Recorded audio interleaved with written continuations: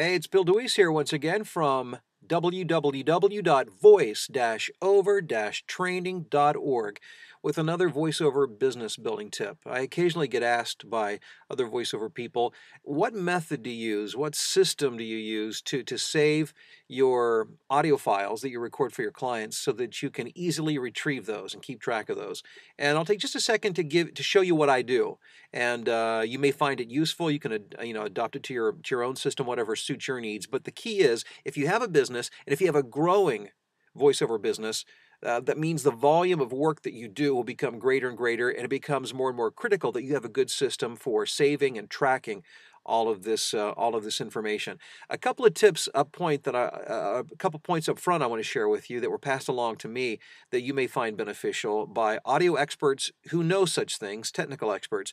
And that is number 1, it's best to to work with and save your audio files on a separate hard drive from your primary uh, computer digital audio workstation, preferably an external drive. A couple of reasons for that. Number one is that uh, if your hard drive, if your primary computer, if it crashes, you've got your audio on an external source, so it's unaffected and saved and you're good to go.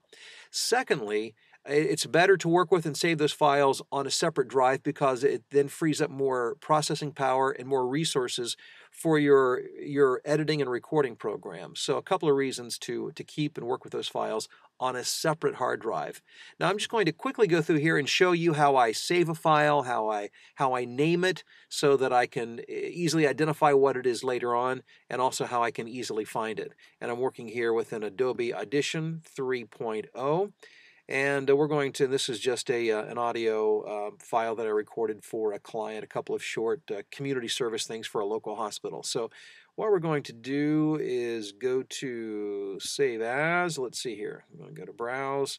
And so as I mentioned, I have this all set up on an external hard drive. So let's take a look here. Let me go to that drive. Okay, I have a folder which I call voiceover audio. As you can see here, and I work with, uh, there might be, she's probably 60, 70, 80 different clients represented here with their folders. So I need to have an easy way to, to identify and to find those and get to those. So uh, this particular client I identify by its initials, which are VTN. I then have it broken down into years. You can see I've been working with this client uh, for several years now. And so um, I want to make sure I break it down by year, and then I break it down by month because I do a pretty high volume of business with this particular client. So I'm going to save this one in the February one. And it just so happens I've already created the file name. Um, and some clients have certain naming conventions that they'll want you to, to, which they'll want you to use, which you need to use.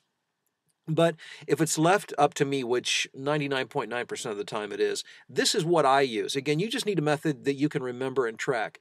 But excuse me, in this in this uh, particular example, I just simply named it health underscore events underscore and then the date. And I use a simple, it's February 22nd right now, so 2-22. Um, actually, I recorded this yesterday. Today's the 23rd. We'll just make that the 23rd.